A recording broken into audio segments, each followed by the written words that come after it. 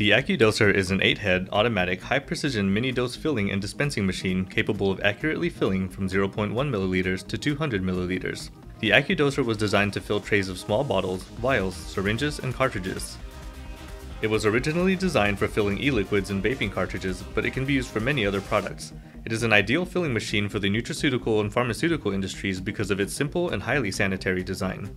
The syringe pumps are servo-driven for high accuracy and the fill heads automatically move to the next set of containers before starting the next fill cycle. The syringes can also inject microfluid into things like gummy candy and other edibles. The AccuDoser machine does not require the use of compressed air, making it ideal for labs and pharmaceutical environments.